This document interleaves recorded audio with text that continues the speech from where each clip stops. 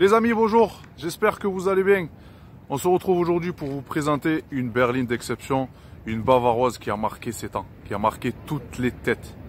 Une M5 E39, ouais ouais ouais, une M5 E39 V8, 5 litres de cylindrée atmosphérique.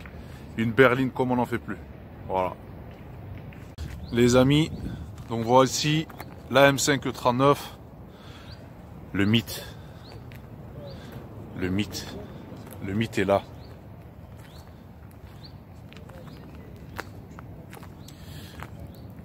Elle est de 99. Le modèle là que je vous présenter est de 99. Et euh, il est vraiment en bon état. Voilà, je vous fais le tour un petit peu. Donc quand on est en GM5, voilà. Donc bon, on retrouve le logo forcément. Et M5 sur E39, c'est les 4 pots. Voilà. On retrouve donc les 4 pots. Sur ce modèle-là, donc on n'a pas les jantes d'origine, hein, euh, c'est des jantes en 19. Euh, c'est des BBS CHR. Voilà, en 19 pouces. La voiture a un petit rabaissement. Donc euh, c'est le, propriétaire a installé quatre amortisseurs euh, sport avec des ressorts un peu plus courts. La M5. Voilà. On retrouve également ben, les fameux rétroviseurs. Les fameux rétroviseurs. On retrouve le bouclier, le pare-choc, Euh, les phares phase 2. C'est des feux phase 2.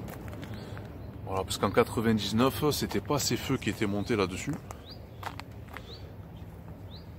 Donc le propriétaire a installé les feux avant et arrière phase 2. Voici.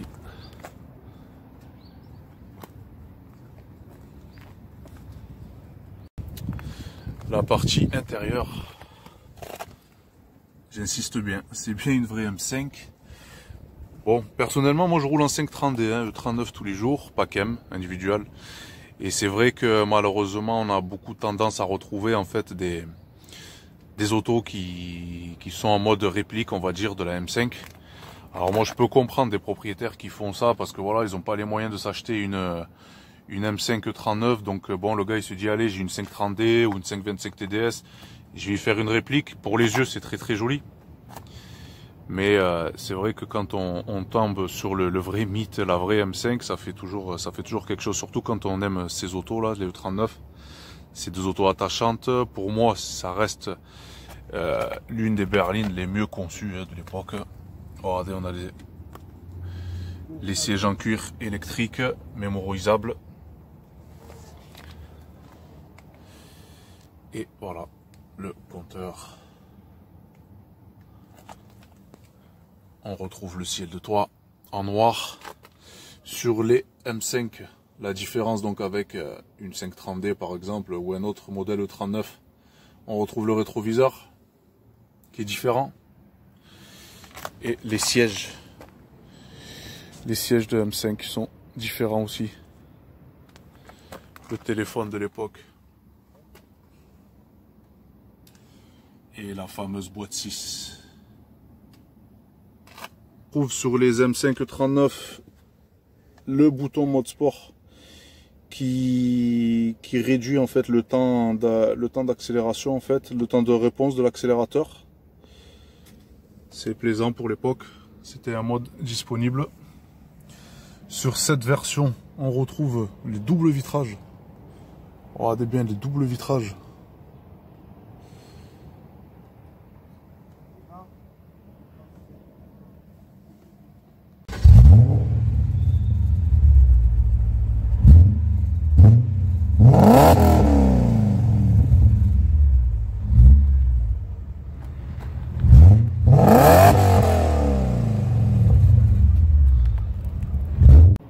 La pièce d'orfèvrerie, les amis.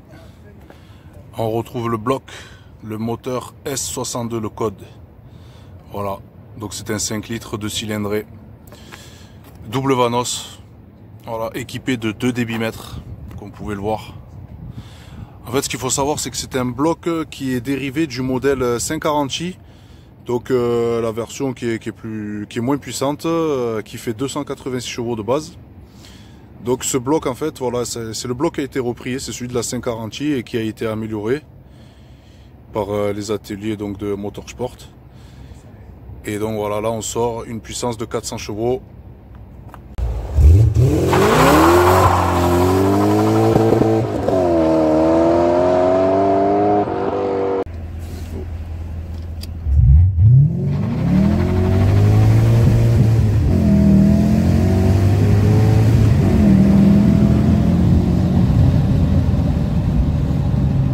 Ça pousse, ça pousse fort les amis.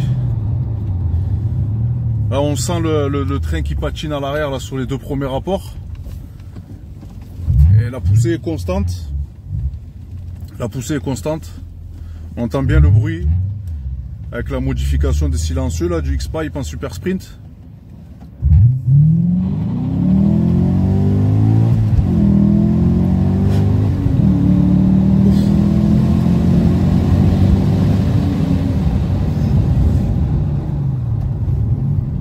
Ah, ça hein. ça, watt bien les amis. hein? Franchement, il n'y a rien à dire. Alors, moteur Atmo, moteur atmosphérique, c'est pas le, c'est pas du tout la même sens- sensation que les, blocs en biturbo. hein. Euh, c'est une poussée, voilà, c'est très linéaire et ça s'énerve, ça s'affole jusqu'en zone rouge.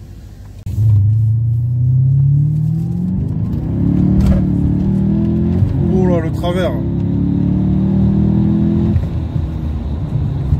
Est bien partie, mais tu l'as gérée tranquille. Bien revenu. Bien revenu, C'est ouais. pas traître, hein Hmm, Un petit peu.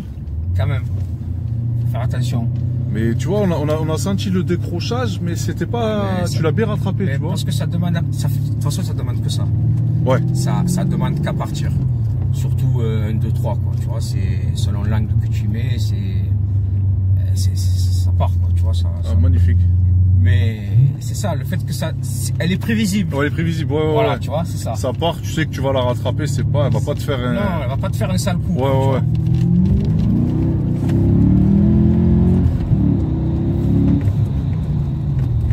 Ah, ouais.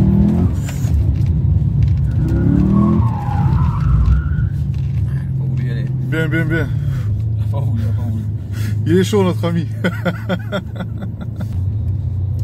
Donc pour un achat comme ça, Babé, à, à peu près, euh, voilà, pour une auto propre, 180 000 km, combien il faut compter à peu près? Ah, ça tourne entre, euh, entre 18 et, et 20 22, 22 000 euros. Ouais, minimum.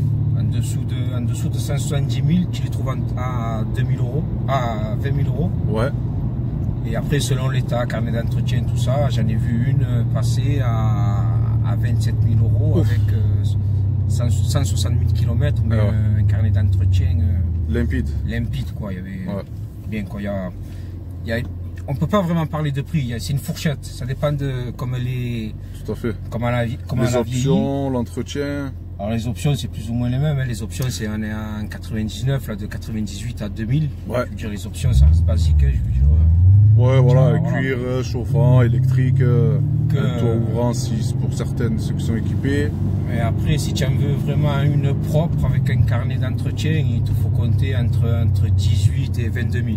Là, tu, c'est les, les prix, quoi. En là, sachant quelque que- chose de propre. en sachant que c'est des véhicules qu'on trouve de moins en moins. Ouais. Et du coup, l'offre et la demande, euh, ça devient compliqué. Les gens, ils, ils sont prêts à mettre des prix, les vrais passionnés, quoi. Tu vois, Tout à ils- fait. Te mettent des prix pour de farfelu, quoi, de fou des fois. Bah, c'est ce qui tue un peu les, ces autos-là parce que bon, tu as des passionnés qui veulent l'acheter, mais après ils se retrouvent avec des budgets et c'est pas évident d'aller mettre euh, 25 000 euros dans une auto voilà, de 99. Alors qu'au jour d'aujourd'hui, pour 25 000 euros, alors c'est sûr, c'est des voitures hors catégorie, hein, mais tu peux avoir là une voiture récente, moins kilométrée, et, et c'est ce qui tue un petit peu le, le- le mythe. Sinon, donc euh, pour une voiture comme ça, donc de mémoire, ça fait 32 chevaux, c'est ça sur la Ouais, carte grise ouais, 32 chevaux. Donc elle est épargnée par euh, cette fameuse taxe euh, du, de 500 euros le cheval à partir de 34, euh, de 34 euh, chevaux. Donc ça reste encore raisonnable. Niveau conso, c'est un V8. Donc Ben, la ça, conso, faut pas rêver, si tu passes pas en dessous de 10 litres, ouais, c'est en dessous, des fois tu, tu- tu joues le jeu de dire bon on va voir si je lève le pied comment je, comment je consomme ouais, et tu te retrouves à, à 10 litres quoi, tu vois. ouais. ouais. À consommer pour consommer, ben, Ah ben autant se faire plaisir. Hein. autant se faire plaisir, c'est ça, c'est voiture de plaisir. Hein, Tout à fait. Oui, c'est sûr. Voilà, je veux dire. euh, Tu vas pas la prendre pour aller bosser tous les non, jours. Non, ça non. Sinon c'est la ruine. Ben, c'est la ruine et puis c'est pas le but quoi. Ouais, Tu vois ouais, ouais. ouais. Après, euh, niveau entretien, euh, tu as un entretien. Comment dire Ça dépend comment tu l'amènes. Ouais. C'est toujours pareil, il n'y a pas de secret. Ah oui, non, c'est sûr, tu la cravaches, tu la malmènes à chaque fois. Voilà, après le défaut, c'est les vanos. Ouais, les doubles vanos, ouais, parce qu'il y en a deux Ouais. dessus. Tu as en général tous les, tous les on va dire, euh, entre 50 et 80 000 à surveiller. Quoi, tu À vois. surveiller, ouais. Ouais, Alors ça veut pas dire forcément qu'ils lâchent, c'est des soudures souvent. Ouais, c'est as- euh, Après, je sais pas comment c'est fait, les experts le expliqueront. Mais Ouais, c'est électronique en fait, c'est pas le vanos mécanique en lui-même qui lâche, c'est la ça. partie électronique. c'est la fait. partie électronique. Ouais, tout à fait. Alors, bon, après, il faut surveiller, quoi, tu vois. Ouais, ouais. Après, tu as les coussinets de bielle à, à 200 000. Ouais, 180, 200, Ouais, un c'est peu- bien de les faire. Ouais, ouais, ouais. Et, Comme sur toutes les M en général. euh, et après, il faut savoir, c'est un moteur qui, qui mange un peu d'huile. Ouais, surtout sur les phases 1, il me semble. Ouais, ouais. C'est un moteur qui mange un peu d'huile. Tu es aux alentours de entre 800, 800 millilitres à 1 litre tous les 1200 à 1500 km. Ouais. Ça dépend toujours. Plus tu montes dans les tours. Oui, voilà, plus ça va consommer, ouais, tout à fait. Ça et après à surveiller les joints de queue de soupape. Ça peut empirer. par Ah temps. ouais D'accord. C'est leur défaut. Tu vois, après les, les puits ils se remplissent d'huile. Parce que sur, le, sur les phases 2, sur les M5 39 phase 2 qui sont sortis euh, courant 2001, fin, fin 2001, début 2002, donc le, le bloc a été, euh, a été un petit peu modifié justement pour, euh, pour éviter cette consommation. Et donc il y a des choses qui ont été redessinées pour éviter la consommation d'huile. Sinon après ouais, les débitmètres aussi. Les débitmètres, moi, depuis que je l'ai, ça fait 6 ans que j'ai l'ai. Ouais, J'ai parcouru, j'ai parcouru 60 000 km plus ou moins avec les mêmes. avec, euh, enfin, avec la voiture. Ouais, avec la voiture, mais Voilà. Euh, Qu'est-ce que j'ai fait dessus? J'ai de l'entretien normal. Quoi. Les, les débitmètres, je n'ai jamais, jamais été emmerdé. ouais, J'ai été emmerdé avec un capteur d'arbre à cam. ouais. Je veux dire, euh, à un moment donné, ça, il y a un capteur qui a lâché. Et sinon, après, entretien habituel, quoi, je veux dire, euh, vidange, bougie, euh, les. Comment tu appelles les, Les bobines Les bobines. Ouais, Alors, les bobines, euh, ça sert à rien de tout changer. hein. Je veux dire, euh, en 6 ans, j'en ai changé qu'une. ah oui, oh ça va. Ouais, je veux dire, euh, ça va, ça, ça, ça- ça tient la route quand même. Tu vois, il faut bien les mener. Oui, oui, oui. faut, faut les respecter. Et puis quand c'est bien chaud, euh, faut pas avoir peur de d'attaquer aussi. Ouais, tu vois, ça, ouais. Ça, ça leur fait du bien. Ça leur fait du bien, hein. ben, V8 de toute façon il faut que ça chante. Hein. Ah, il faut, faut libérer. ouais. Et niveau, niveau embrayage, parce que vu que c'est une voiture qui a quand même pas mal de couples, euh, un peu plus de 500, euh, l'usure de l'embrayage. Eh ben, l'usure de l'embrayage, moi j'en ai fait un. Ouais, J'en ai fait un mois d'embrayage à 170 000. ah ça va. Ouais. Et en sachant que sur, les, sur le carnet d'entretien, il y en a un qui a été fait d'embrayage aussi à 100, à 100, 100 000, 90 000, 100 000. Ouais, suivant, hein, suivant l'utilisation. Voilà. Après l'embrayage, moi je pense que c'est toujours pareil, c'est selon, selon comment tu. Ouais, voilà, ouais, c'est sûr quoi. que si le gars au feu rouge il fait, euh, il reste le pied dessus Après, dès le démarrage. Si c'est départ et tout ça, ça dépend de comment tu l'amènes. Il y en a qui ont tendance à laisser le pied sur l'embrayage. Ouais, ouais, et bah oui, là, forcément. Forcément, l'embrayage quoi, Ouais. tu vois, il faut, faut faire attention. Ouais, ouais, ouais. Euh, le flector, il y, en a, il y en a un qui a été fait dessus. Ouais. C'est une voiture à la 200 000 là maintenant. Ouais, je veux dire, un flector, euh, un flector, deux embrayages. euh, sur une voiture qui a autant de coupes comme ça, on peut dire que c'est costaud. quoi. Ah, c'est costaud, oui, oui, c'est costaud, tout à fait. Ouais, ouais. Que niveau pneus, bon, les pneus. Ouais, les pneus, ça doit bien s'user quand même, non? Les pneus, ben, ça dépend, oui et non. Toi, tu, fais, tu aurais tendance à dire que les pneus arrière, tu les tiens pas. C'est le contraire. C'est tu tiens pas les pneus avant. D'accord. Je sais pas pourquoi.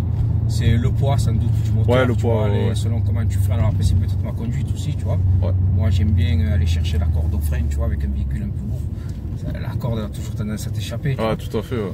Mais les pneus, euh, c'est- avec des Michelin sur les arrières, je suis arrivé à les amener à 21 000. Et usés. 21 000? Ouais, sur les arrières, impressionnant. je Ah ouais, c'est clair. Ouais. Et devant, tu sors entre, entre 16 et 18 000 km, pas plus, tu vois.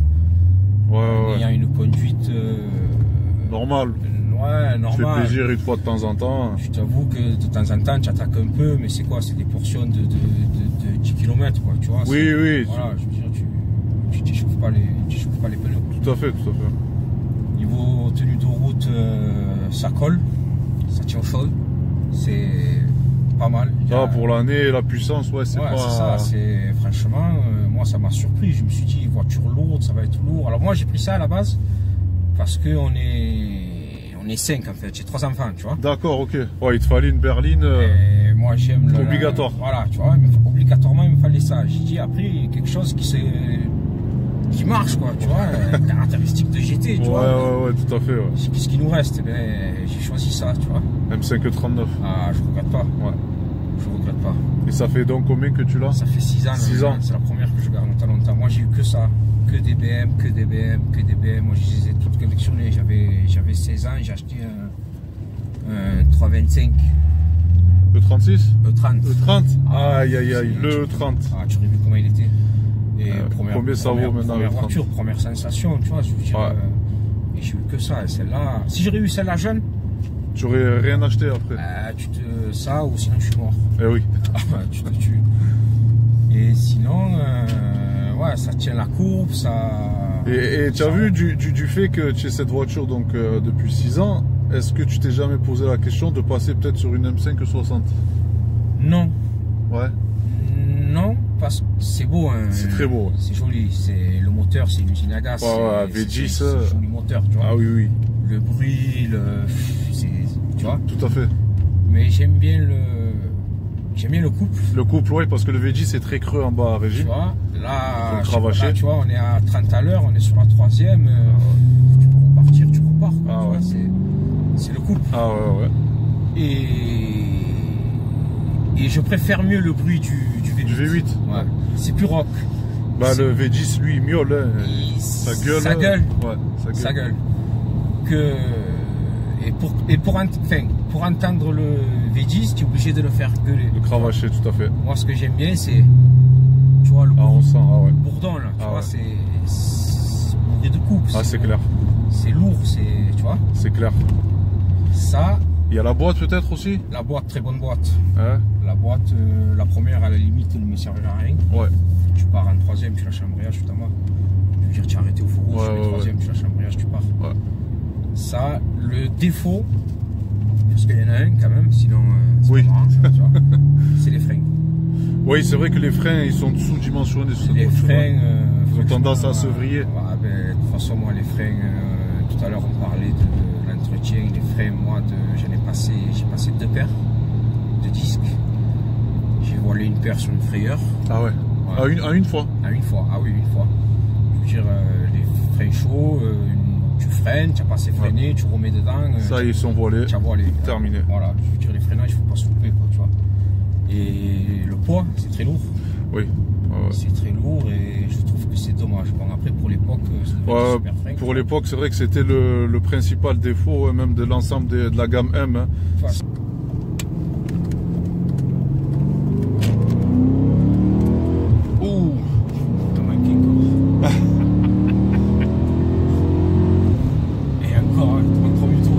Veux pas aller en zone rouge. Ça va, les mecs qui roulent en gasoil. Ah. Eh oui les amis, alors désolé parce que Ah, moi, ouais, parce que moi je roule euh, tous les jours avec euh, un 335D. Donc euh, le 335D c'est une très très belle voiture, ok, ça marche en reprog et compagnie, Euh, mais on n'a pas ce plaisir d'aller chercher la zone rouge et euh, c'est vrai que moi je m'arrête à 5000 en général. Donc c'est différent, très très différent.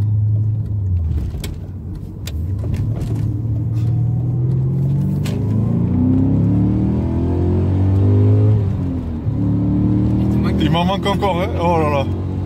Ah, ça pousse, les amis. Ouais. Ça pousse très très fort. Bon les amis, c'est la fin de cette vidéo. J'espère qu'elle vous aura plu. Moi personnellement, j'ai pris, euh, un pied grave. Euh, voilà, ne serait-ce que pour le bruit ou la conduite. Et euh, donc Babé, je voudrais te remercier.